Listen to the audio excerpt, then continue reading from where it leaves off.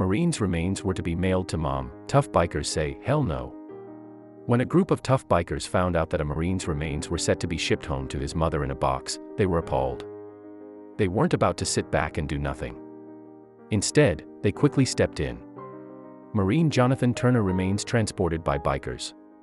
Staff Sergeant Jonathan Turner, photo credit, YouTube. Staff Sergeant Jonathan Turner passed away in California at just 41 years old after serving seven tours in Iraq and Afghanistan with the Marine Corps.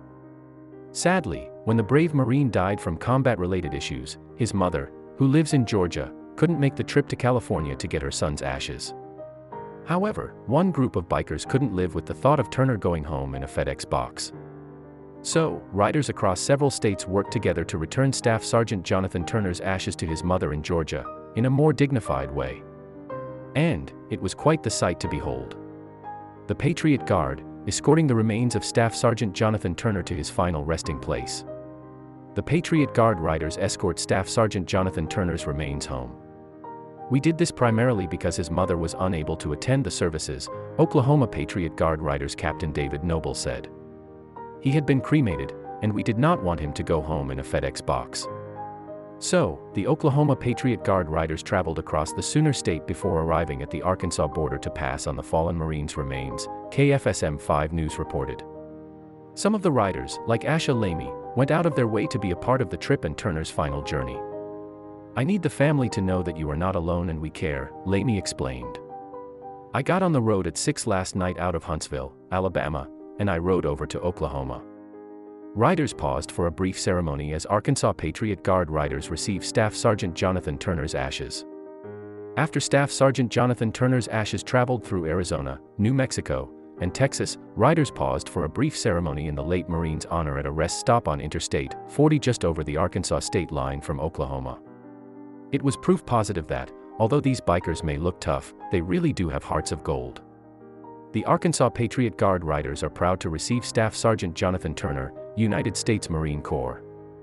It will be an honor and a privilege to escort him on his journey home, Norm Breath, road captain of the Patriot Guard Riders of Arkansas, said during the ceremony, which was caught on video.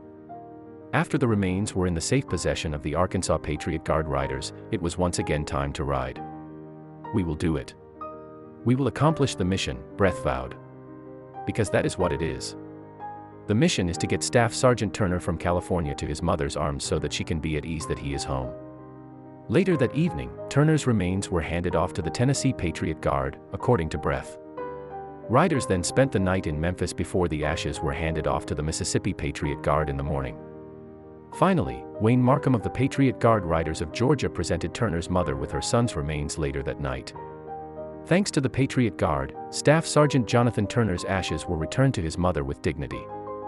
Staff Sergeant Jonathan Turner was delivered to his final resting place with dignity, thanks to these selfless bikers, who know that those who fight and die for our country should be treated with honor, even long after they have left his world. Rest easy, devil dog, you are home. Even those who don't support acts of war should support those who stand up for us and risk their lives when duty calls. This is the America that we've come to know and love, a country full of patriots who show respect and honor for the brave men and women who provide often thankless service to our country. God bless these great men and women for their final act of kindness towards Staff Sergeant Jonathan Turner, who made the ultimate sacrifice for his country.